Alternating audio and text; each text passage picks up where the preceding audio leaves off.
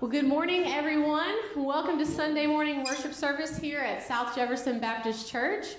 We're glad to see those of you who are joining us in the room today, and we're thankful for those who are able to join by Facebook Live as well.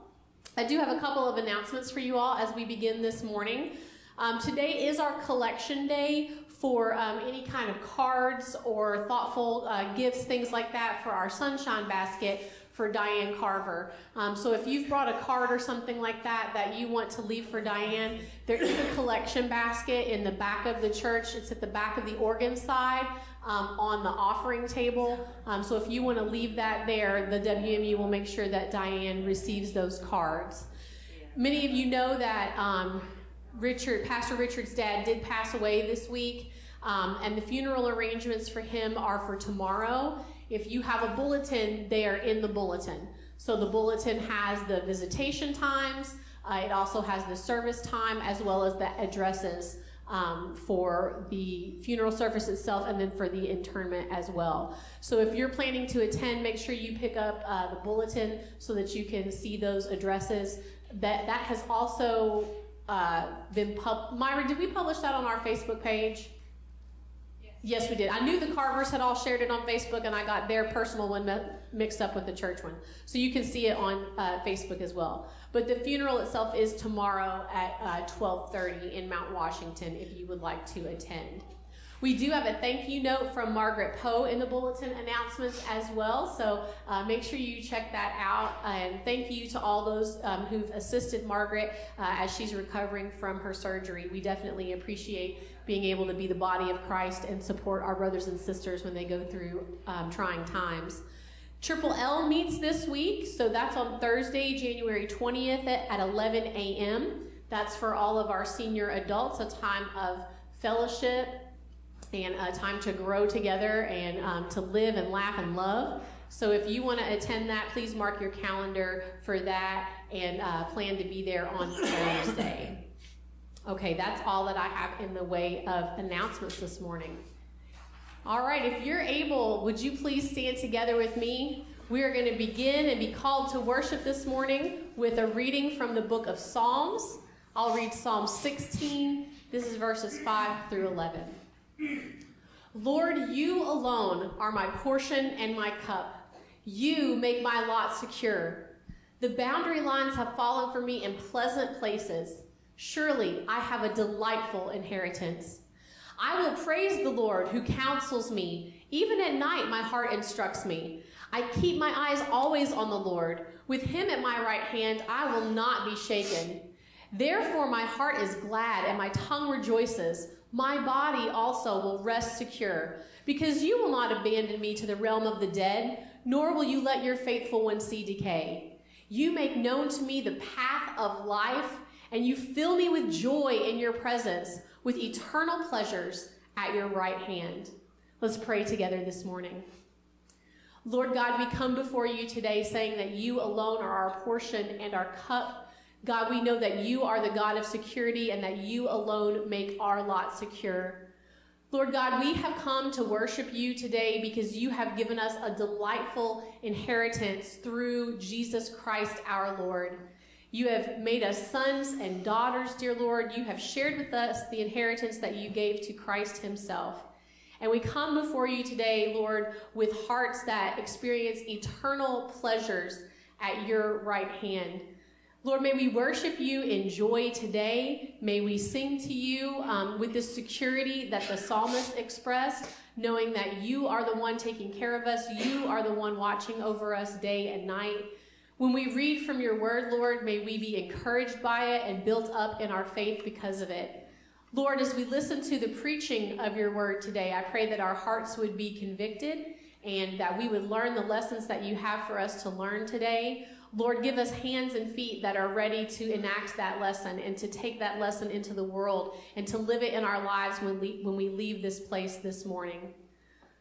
Lord, we praise you today because you have made known to us the path of life through Jesus Christ, our Savior. And you have filled us with joy in your presence because Jesus opened the door and allowed us to walk boldly into your presence. Help us to worship you in that joy today, dear Lord. It's in Jesus Christ's blessed name that we pray. Amen. Would you look around you this morning and give a wave and a smile to those who are sitting next to you, make them feel welcome? And we are filled with joy in the presence of the Lord this morning. And let's sing with that joy in our hearts as we sing, To God be the glory.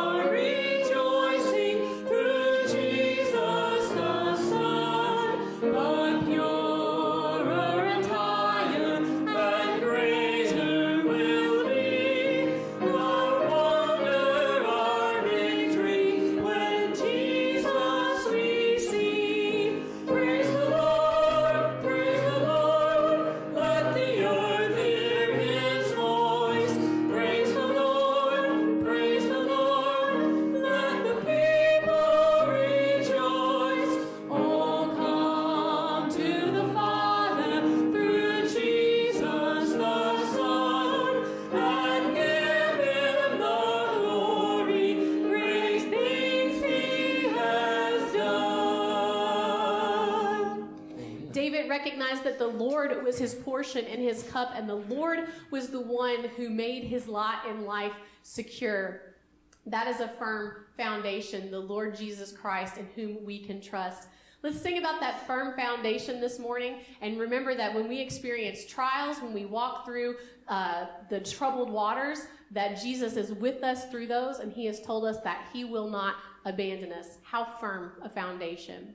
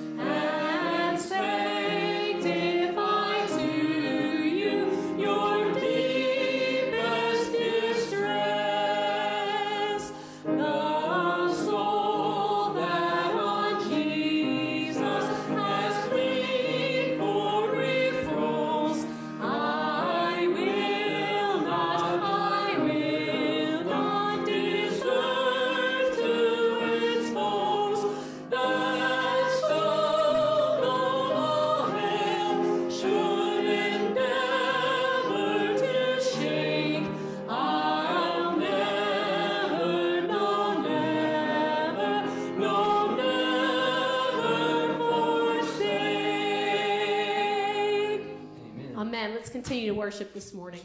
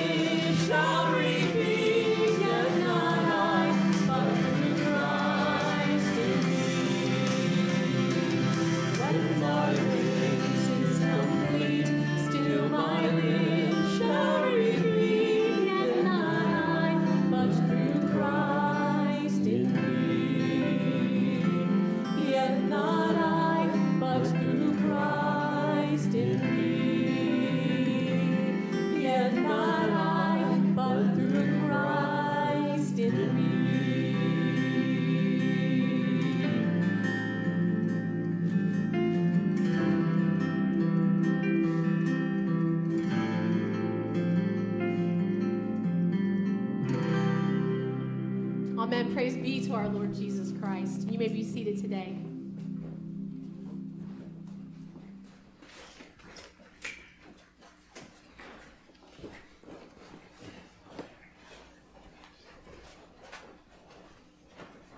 It is good to be with you this morning.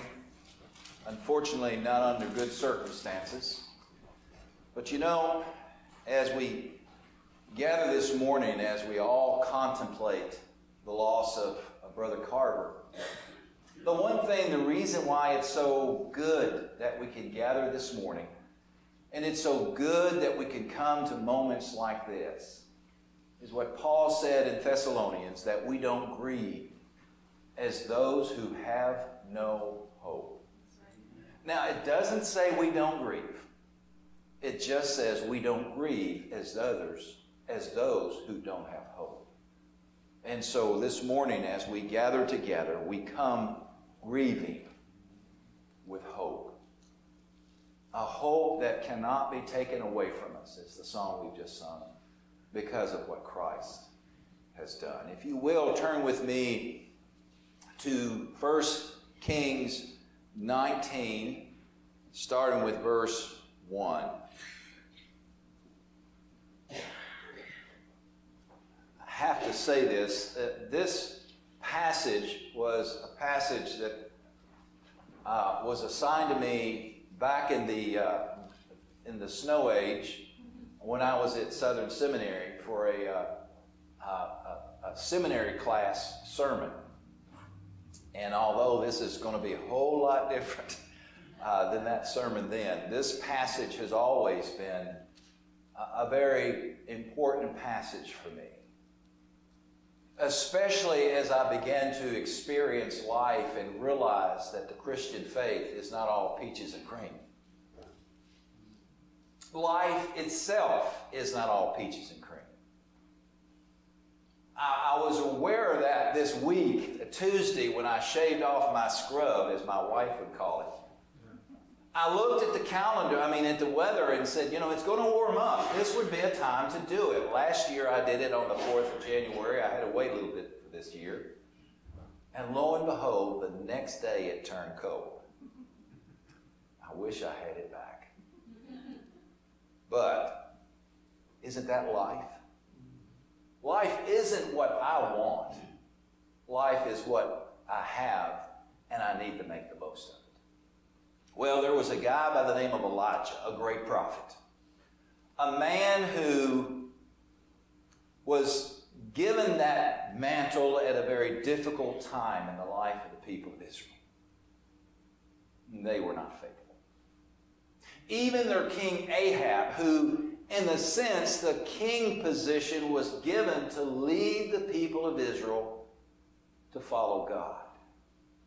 And yet he abdicated all of that to his very wicked wife Jezebel, who was a follower of Baal. She rounded up all of God's prophets except one, killed them all, and established Baal as the one true God in Israel. That was a difficult time. We are living in difficult times today, aren't we? Still, you know, I remember listening to some some folks talk about the new year and, and they said, we can't wait to get going and get over this pandemic. And guess what? It's still with us. And probably with us stronger and meaner than ever and we don't even know. They don't even they can't even tell us when this thing is going to be completely over. It'd be so easy for us to get get down and, and depressed over what we experience. And add on to that, it's almost like biblical prophecy. We're experiencing all kinds of calamities. Fires out west destroying total communities tornadoes in western Kentucky destroying total communities. And there's a lot of pandemics that we seem to kind of sweep under a rug that our city is experiencing right now.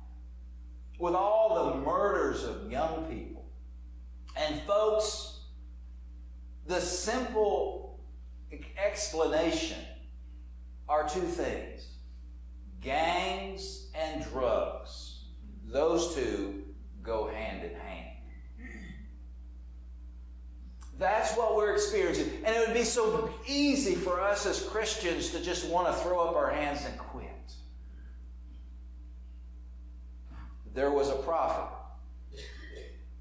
who did great things. But at the end of the day, when he was threatened, he threw up his hand and quit. We almost have to go to the 18th chapter to really understand the background. Elijah was coming to town, and, and uh, Ahab heard he was coming and said to him, You are the dude that is messing up our, our nation. He simply was preaching repentance and get back with God. That's what Ahab was calling messing up our community. And so Elijah thought, well, you know, now is the time. We've been playing these games, now is the time. So he set up the challenge at the OK Corral, so to speak. He said to the 400 prophets of Baal, let's have a competition. Let's meet at the altar,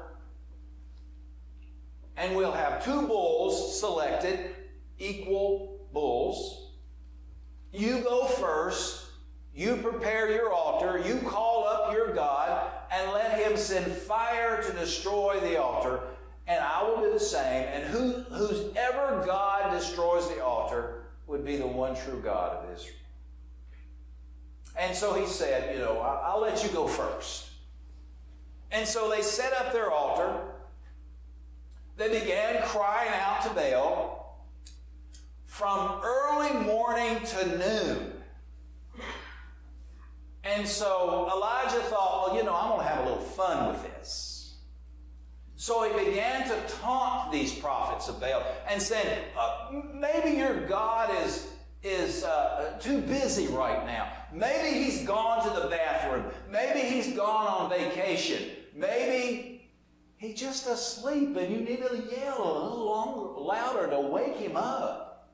And so they did. And they even, as their, their tradition, they began to cut themselves and bleed profusely. And finally, nothing. So at evening time, Elijah just simply began to prepare the altar of the Lord using 12 stones representing the 12 tribes of Israel. Cut up the bull, prepared the altar, and then made one unusual request. Take large jars of water and soak the altar three times. Man, I don't care what you have. You could not, not humanly ignite that altar. That's what he did. And so he prayed a simple prayer asking God to, to answer the prayer so that the people of Israel could recognize the fact that He is the one and only true God of Israel. And as soon as he finished his prayer, the fire from heaven came and not only consumed the altar, lapped up the water, but everything around the, the altar was sin. And then he immediately said, Round up those 400 prophets of Baal, take them outside the city, and he murdered every one of them. Well, he thought that was it. But then, our friend Ahab tattletaled to him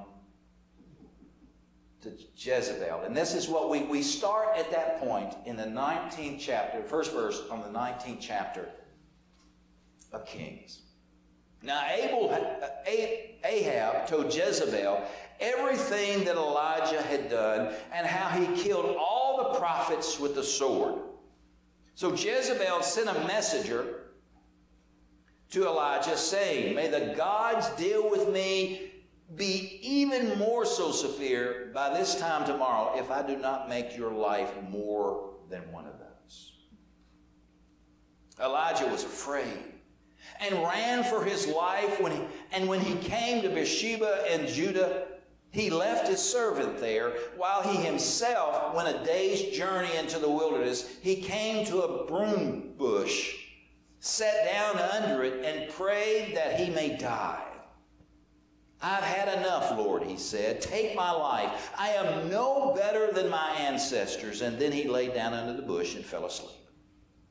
All at once, an angel touched him and said, Get up and eat. He looked around, and there by his head was some bread baked over hot coals and a jar of water. He ate and drank and lay down again.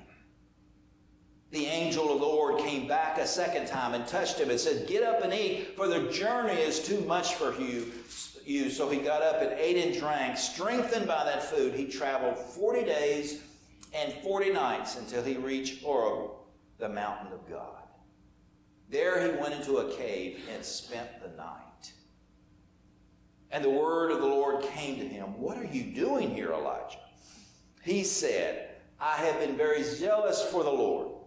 God Almighty, the Israelites have rejected your covenant, torn down your altars, and put your prophets to death with a sword, and I am the only one left, and now they're trying to kill me. And the Lord said, Get out and stand on the mountain in the presence of the Lord. For the Lord is about to pass by. Then a great and powerful wind tore the mountains apart and shattered the rocks before the Lord. The Lord was not in the winds. And after the wind, there was an earthquake, but the Lord was not in the earthquake. And after the earthquake quake came a fire, but the Lord was not in the fire. And after the fire came a gentle whisper. When Elijah heard it, he pulled his cloak over his face and went out and stood at the mouth of the cave. Then a voice said to him, What are you doing here, Elijah? And he replied, Again. I have been very zealous for the Lord God Almighty. The, the Israelites have rejected your covenant, torn down your altars, and put your prophets to death with the sword. And I, the only one left, and now they're trying to kill me.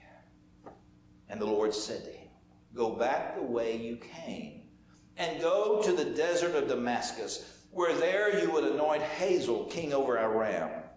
Also Jehu of the son of Nimshi, king over Israel. Appoint Elijah, son of Shaphat, and Abel Meholah to succeed you as prophet.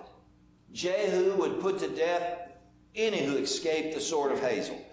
Elisha shall put to death those who escaped the sword of Jehu. Yet I reserve 7,000 in Israel, all whose knee have not bowed to Baal, whose mouth have not kissed him.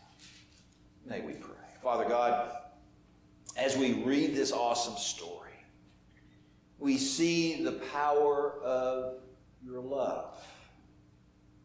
Yes, we see a lot of power, a lot of destructive power.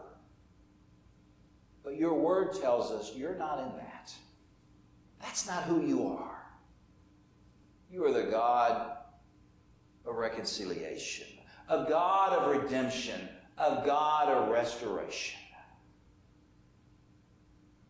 Yet, Lord, we're so fearful. We're so fearful of what is yet to come. We are so concerned about our nation and its political future. We're so concerned about our health and the future of our health because of the pandemic. And yet, Lord, you're standing whispering to us. Just trust me. I've got it under control. Just trust me and follow me. Father God, there is no better suggestion, no better command, no better thing we can do but in all things put our trust completely in you. Jesus' most precious name, we pray. Amen. You know, this is a dramatic story. A dramatic story with a little sadness. A little sadness that God established the people of Israel to be His people, to be a blessing to the nations. And here they are. Not even a nation worth looking at.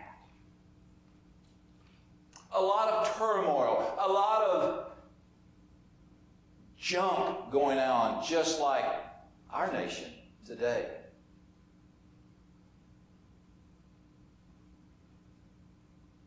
People look toward, look up to the King of Israel as their spiritual leader. Because he was established to lead the people of Israel to follow God. And yet he had turned that over to his awful wife, who later gets her in. But at this point, she threatens Elisha. Now, one thing we need to understand Elisha just gone through some major successes. He had a lot of courage, didn't he? I mean, he had to have a lot of courage to stand up to Ahab and said, I don't care what you say. He called him the troublemaker. But I know one thing. God needs to be on this throne. And so he did what he did to put God back on the throne. But then, when this evil woman threatened his life, it seemed as if he was a different person. His world literally fell apart. But how many of us, yes, even us preachers, have allowed life experiences to kick our feet out from under us? God asks a question, a question twice. What are you doing here? And maybe we need to ask ourselves that question. What are we doing here? Yes, the world has dropped out from under us. Yes, there is no sense of the same, the, the, the routine. Yes, yes, all bad. But one thing we need to remember and learn from Elijah's experience that life with life, with life with God, there is no promise that everything is going our way. It went his way for a while, and he was very successful. Isn't it odd that he was able to feed 400 men and could not defeat one person? He let one person chase him to a broom tree in a cave. Let's go to this broom tree. Now, many translations call it a tree. Now, the King James call it a juniper tree. Uh, the New Revised Standard, or the New uh, International Standard Version, says it right. It's a bush. It's about the inside, the canopy, below the canopy, is about two to three feet to the ground. I mean, Elijah had to be crawling on his belly to get under this thing. And usually it's out, if you can get under it, you have some protection. I mean, he was low. As low as a human can go. What's happened to us with this pandemic? A lot of routines have changed, haven't they? A lot of things we used to rely upon, we can't any longer. some of the things, especially early on, that we gained strength and support and, and, and kind of entertainment was gone. And there's struggles whether or not they may go again. The NHL, the NFL, the NBA, they're talking about shutting things down because they have so much COVID in their teams and, and in their head office. Living in a country that's built on sports, what are we going to do? What are we going to do?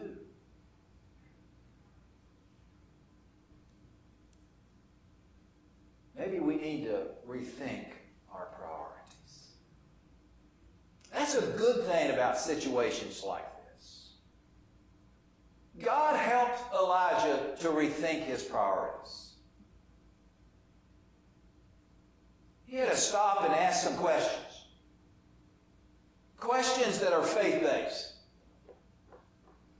Questions like, why in the world did you create me? What can I give to the world? What is my true identity? My life with God. And I guess the one that we hear the loudest, unspoken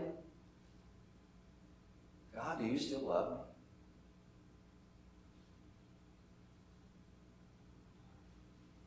Most of us, if we were honest, would have asked those questions maybe even recently. When life began to push us down, when life begins to kick at us and sends us off under a shrub and a cave, causes us to stop and think. But you know, that's probably a good position to be because he stopped long enough for God to get his attention. Now, as soon as he crawled under that juniper tree and fell asleep, it said suddenly the angel appeared. God is not going to leave us or forsake us. The Great Commission tells us, I am with you always, even unto the end of the world. And that means He is with us on this earth until we see Him face to face. When nobody can get hold of us because we're in His arms. God is with us. And as Christians, God has, as Brother Richard preached last Sunday, God has given us the power of the Holy Spirit within us the empowering presence of God in us so that we can live through these moments, experience these awful times, and live through them. But more importantly, allow the light of God to shine through us in the midst of it. Our faith does not exempt us from difficulties. Our faith gives us strength to live through them. The power of God in us is given to us with the reality that we're going to have difficult times. And sometimes we, like Elijah, will just cry out to God and say, just take me away. And I don't mean a Calgon time either. Take me away. I can't take it any longer. But you know, our God is big enough to hear those cries. He will not reject us when we're honest with Him. Matter of fact, when we come to that point of honesty, like Elijah did, is when God can work with us the most. And in this time, we will rediscover our intimacy with God. You know, I think this is one of the most beautiful pictures in verses 18 and 19 of all the Bible. I imagine if we lived in western Kentucky, Mayfield, we'll all understand these noises, this destructive power, and wonder why God did this. But Scripture makes it plain at this moment when it said, there was, excuse me, the wrong verses. Verses 11. There was a great wind, hurricane, tornado, but God was not in the wind. There was a great earthquake, a destructive earthquake like the destructive wind, but God was not in the earthquake. And there was a fire. And I saw some horrible pictures. Hear the stories of people saying, I left my home just with the clothes on my back because fire was in my backyard. And they were standing before a charred community. Everything was gone. But here it says God was not in the fire. And in this translation it says, and a gentle whisper. Some said a still small voice. It doesn't say God was in the whisper, but he was. He is. Now, I have a little hearing issue, tinnitus. And sometimes Diane has to do more than whispering. But you know, God does not. Because if we're close physically enough to someone, and we can read lips, close enough to where we can read lips, we will not have a bit of problem understanding what they're saying. The key is being close enough. See, God wants us close enough to Him so that we can hear the whisper. His whole purpose is for us to be close with Him. Yes, to be in His arms. But that's why He created us. In the good times as well as the bad, a time to be in His arms. Now, this doesn't say that God does not punish Although the scripture says God did not send his son into the world to condemn the world, but we condemn ourselves by our unbelief. It's our choices. God did, the scripture before that does say, For God so loved the world that he gave. And he's constantly giving. He gave Jesus so that we can have that intimate relationship with Him. He gave us Jesus so that we can be close enough and not worry about anything because of grace to hear that voice. But more importantly, not only will we rediscover that intimacy, we will understand that God has never stopped being at work. God is always at work. In the midst of pandemics, in the midst of horrible social issues, in the midst of massive murders, drug and, and, and gang activity on our streets, God is still at work. But we must not focus on those things we must keep our eyes upon Jesus. And in keeping our eyes upon Jesus, then we will hear the voice of God so clear and so distinct. I got a job for you. Now, we remember Elijah's little rant. He told us a couple of times. I mean, it's, it's not like we're going to miss it or anything.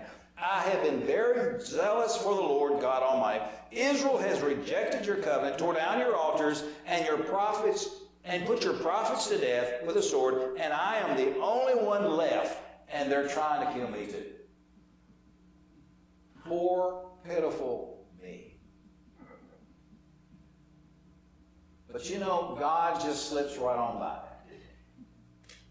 He says, okay, get yourself ready, get up, go back the way you came, go and anoint Hazael king, Jehu king, and Elisha to follow your steps. God is always at work.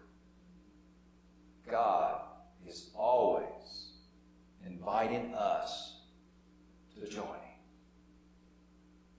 Now we have a choice either to be like Elijah, spend our time in bushes and caves, or get out and be a partner with God. Now, being a partner with God does not take away those threats on our lives. Jezebel was still wanting to kill him, whether or not he came out of the cave or not. But the fact is now, he came out with a sense of power, a sense of responsibility, and a sense of mission. Paul said in Ephesians 2:10, we seem to kind of slip by this verse because we're talking about saved by grace through faith, not of your works, lest any man should boast. But why did God save us that way? For we are God's handiwork, created in Christ Jesus. Why? To sit back and wait for the getting that morning? To have it for God to just kind of lavish us with all this kind of stuff to make our life easy, to do good works, which God prepared in advance for us to do. He prepared Elijah to be the great prophet, even if it meant he was going to be killed like the rest of them. God does not promise us that everything's going to be safe.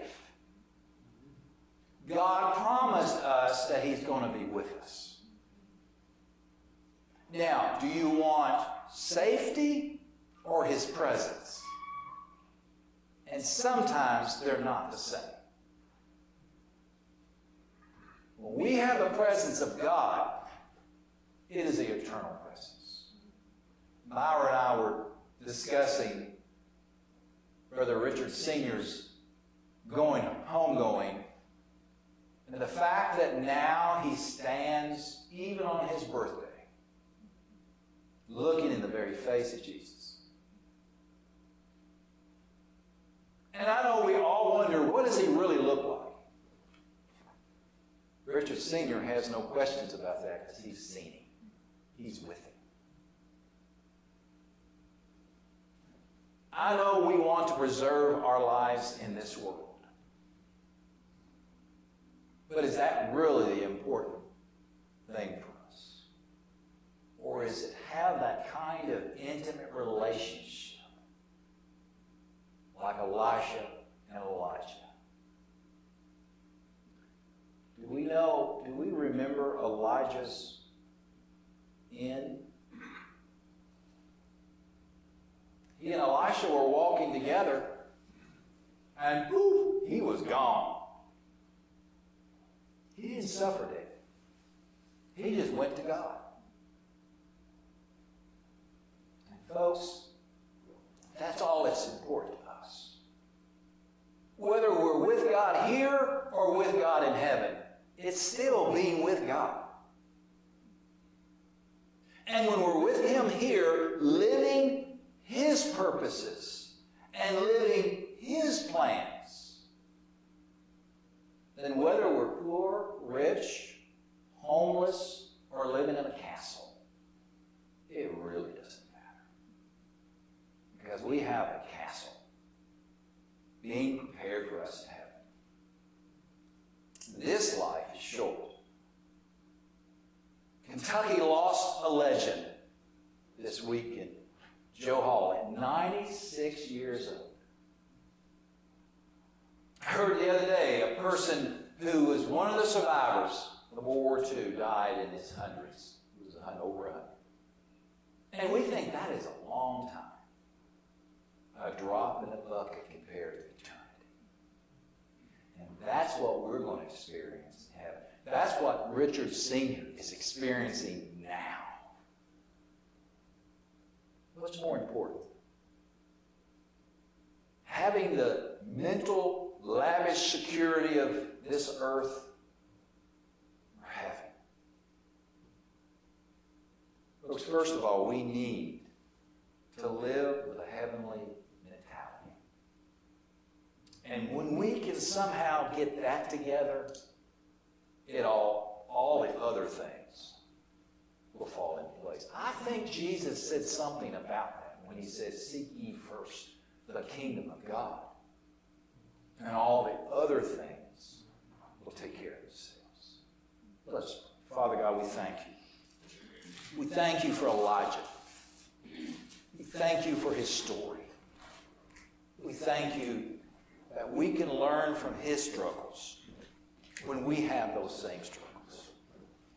Father, we know we all do. And we thank you for your faithfulness. And we pray that we may be just as faithful to you as you are to us.